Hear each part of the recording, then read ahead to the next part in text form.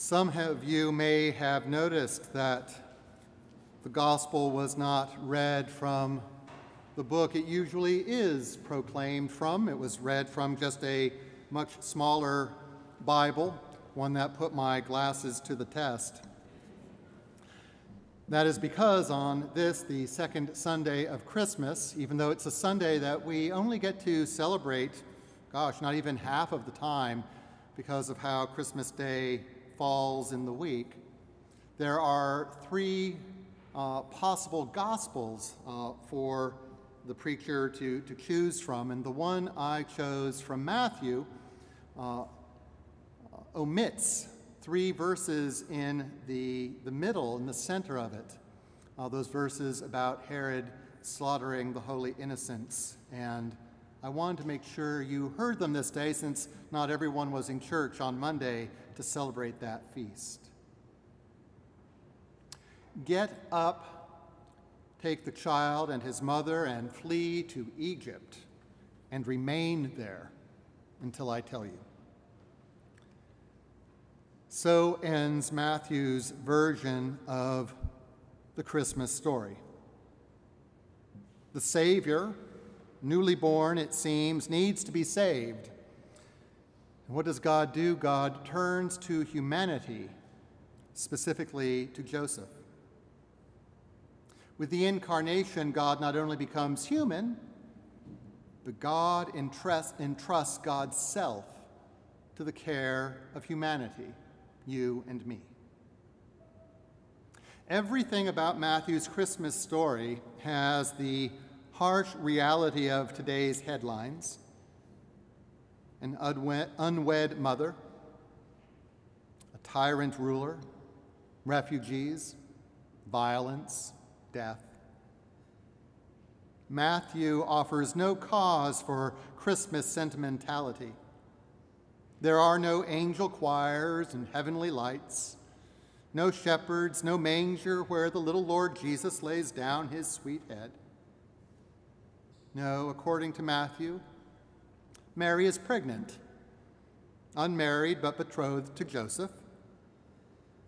Joseph has a dream, and an angel tells him to take Mary as his wife. He obeys. The child is born.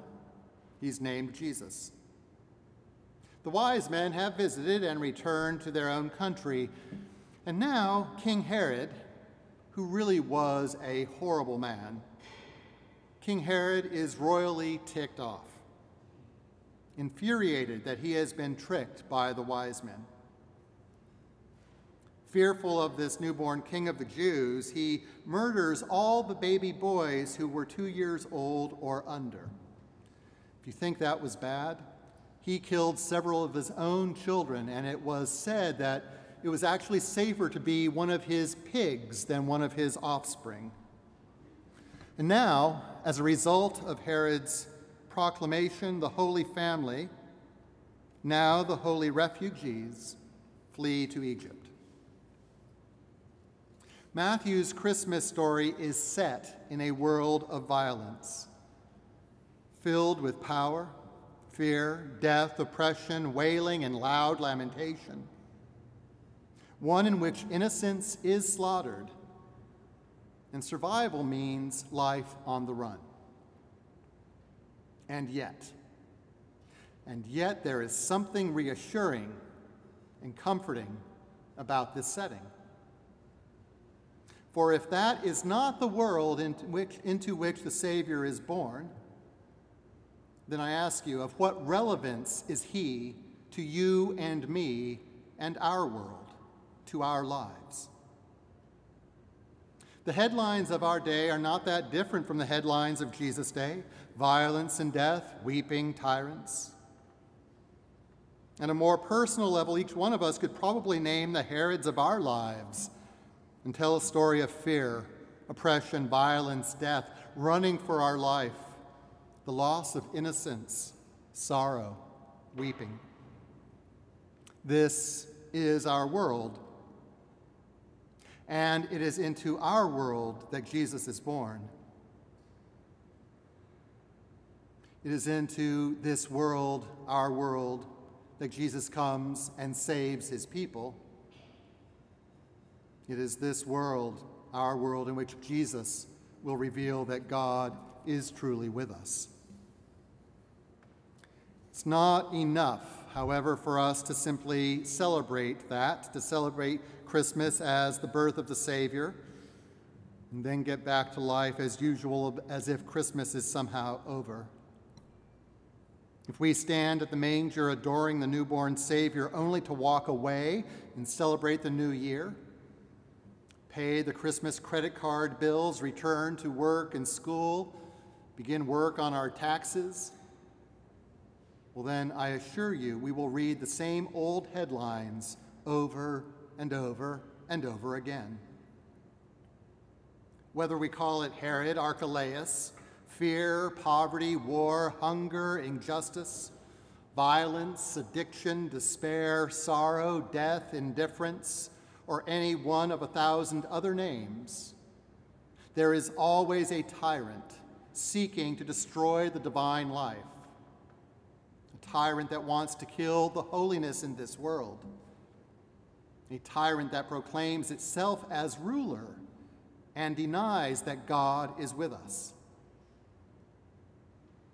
The salvation Christ brings is not simply an exhibition of what God can do.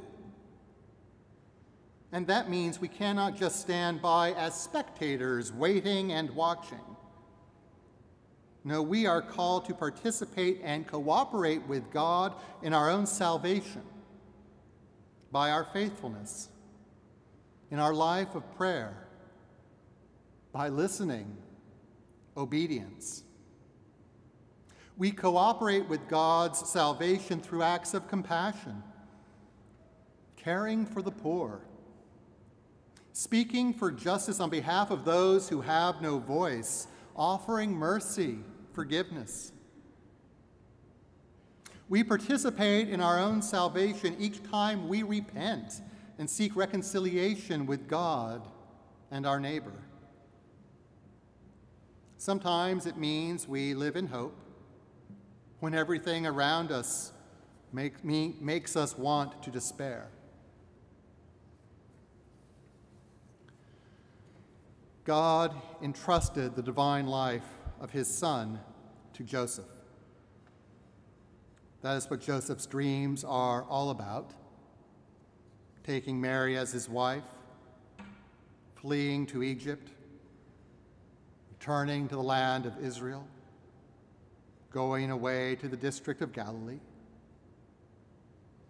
Every one of his dreams is about protecting the holy from the Herods of this world. Whether he knew it or not, in taking the child and his mother and fleeing to Egypt, Joseph was participating in his own salvation. Each and every one of us has been entrusted with divine life. That is the truth, the reality of Christmas. We find it wherever we go. It is in our families, our marriages, our work, the strangers we encounter, the enemies we avoid, the oppressed and marginalized. Divine life the presence of God is everywhere waiting for us.